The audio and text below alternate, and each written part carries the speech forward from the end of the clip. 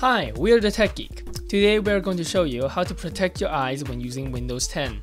Before we get started, if you found this video helpful, please like and subscribe to our channel. So let's get started. As you may know, digital electronic devices such as monitors and mobile phones emit blue light that can cause eye strain and may lead to eye problems over time.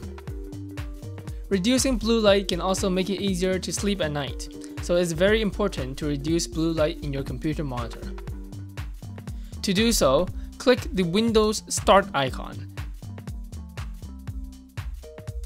Then click Settings. Click System and click Display.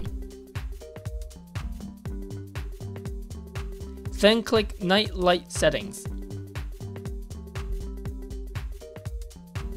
Click the Turn On Now button and adjust the strength you feel comfortable. I found it is good at around 20 to 25, but you can adjust it to whatever you want. You can also click Schedule On to turn on the nightlight feature from sunset to sunrise or on a specific period.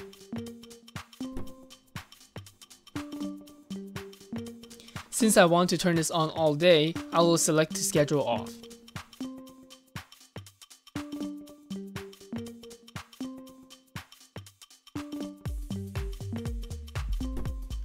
And that is the end of the video. We hope that this video helped you. If it did, please consider dropping a like and subscribing to our channel. Thank you for watching and we look forward to seeing you in the next video.